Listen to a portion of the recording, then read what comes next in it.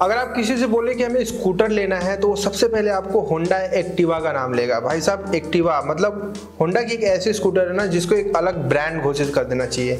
अब देखिए, हम लोग रिव्यू करते हैं, हमें अच्छे से पता है कि मार्केट में एक्टिवा से कहीं ज़्यादा बेहतर स्कूटर उपलब्ध हैं दूसरी कंपनी के, वो भी सेम प्राइस में। खैर, ये बात तो अलग हो गई। आज बारी है स्कूटर जितने भी होंडा के हैं, उनका प्राइस जानने के लिए, वो भी लेटेस्ट 2023 की। क्योंकि यहाँ पे प्राइस लिस्ट हमारे हाथ में आ चुकी है, और आपको जानना बेहद ज़रूरी है। अगर आप एक्टिवा लेने वाले हैं या फिर कोई भी लेने वाले हैं तो बुरा मत मानिएगा कि मैंने शुरू शुरू में ही एक्टिवा के बारे में बुराई कर दी। हाँ एक्टिवा अपने आप में ब्रांड है, लोगों का भरोसा बहुत ज़्यादा एक्टिवा पे, इसलिए लोग लेते हैं। आज देख लेते हैं एक्टिवा की प्राइस कितनी बड़ी क्योंकि ये नया तोहफा है दो में की सारी कंपनियों ने प्राइस बढ़ा दिया है अपने ग्राहकों के लिए। चलिए शुरू करते हैं यहाँ पे। मैं आपको स्कूटर्स नहीं दिखाऊँगा, क्योंकि रिव्यू मैंने सबके कंप्लीट किए हैं। आप आई बटन या फिर प्लेलिस्ट खोल के होंडा स्कूटर्स रिव्यू प्लेलिस्ट खोलिएगा, उसमें आपको मिल जाएँगे। कॉपी पेन लेके बैठिएगा। शुरुआत करते हैं हम होंडा डियो से। इसके दो वेरिएंट हैं डीएलक्स और स्टैंडर्ड वेरिएंट अब मैं इनकी प्राइस आपको बता दे रहा हूँ। अगर आप स्टैंडर्ड वेरिएंट लेते हैं तो सेवेंटी वन थाउज़ेंड यानी इकहत्तर हज़ार करीब एक शोरूम प्राइस है। ऑन रोड अभी मैं बता रहा हूँ आपको, ठीक है? जो डिलक्स वेरिएंट है, ये इससे लगभग चार हज़ार रुपए महँगा है। तो देखिए, जो आप अपना ऑन ऑन रोड के लिए जो बजट रखेंगे ना, वो आप रखेंगे छियासी हज़ार से लेकर तिरानवे हज़ार के बीच में। Eighty six thousand to ninety three thousand तक अगर आप अपना बजट रखते हैं तो इसके चाहे स्टैंडर्ड वेरियंट चाहे डिलक्स वेरियंट दोनों उसमें इंक्लूड हो जाएगा।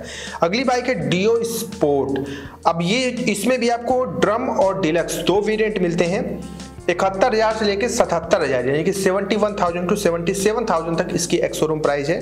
आप जो अपना बजट रखेंगे, वो छियासी हज़ार से लेकर पंचानवे हज़ार, यानी कि eighty six thousand to ninety five thousand तक बजट रखते हैं। तो जो डियो स्पोर्ट है, इसके दोनों वेरिएंट उसमें इंक्लूड हो जाएँगे। अब जो अगला स्कूटर है, वो है एक्टिवा का प्रीमियम एडिशन मैं इसे एक बकवास एडिशन बोलता हूँ, क्योंकि कोई मतलब नहीं है।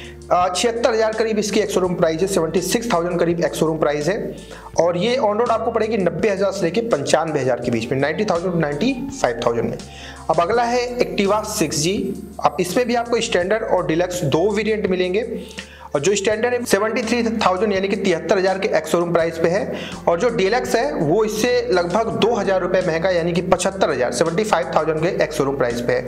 ये ऑन रोड आपको पड़ेगी eighty seven thousand to ninety thousand यानी कि सत्तासी हज़ार से लेकर नब्बे हज़ार के बीच में। अब जो अगला स्कूटर हमारे पास है, वो है यहाँ पे एक्टिवा वन ट्वेंटी फाइव एक सौ पच्चीस सीसी वाली एक्टिवा इसमें आपको drum variant drum alloy variant साथ ही साथ इसमें डिस्क वेरियंट तीन अलग अलग वेरियंट मिल रहे हैं। कंफ्यूज नहीं होना है, जो आपको ऑन रोड प्राइस के लिए बजट रखना है, वो पंचानवे हज़ार से लेकर एक लाख पाँच हज़ार, यानी कि ninety five thousand to one lakh five thousand तक आप अपना बजट रखेंगे तो एक्टिवा वन ट्वेंटी फाइव का कोई भी वेरियंट हो, वो इसमें इंक्लूड हो जाएगा। अब आप अपने अकॉर्डिंग जो आपको सही लगे, वो आप ले सकते हैं। ऐसे ही जब हम ग्राजिया 125 में आते हैं, ये भी बड़ा अच्छा स्कूटर मेरे को लगता है। इसमें आपको ड्रम और डिस्क दो वेरिएंट मिलते हैं। बयासी हज़ार करीब इसके जो ड्रम वेरिएंट है एक्सोरूम प्राइस है, और लगभग नवासी हज़ार के करीब इसकी एक्सोरूम प्राइस है डिस्क वेरिएंट के दोनों में लगभग सात हज़ार का फ़र्क है। जी हाँ तो आप अपना जो बजट रखेंगे, वो एक लाख से लेके एक लाख दस हज़ार तक रखेंगे, ठीक है? One lakh to one lakh ten thousand के बीच में अगर आप बजट रखते हैं तो ग्रेजिया वन ट्वेंटी फाइव आपको मिल जाएगी, ठीक है?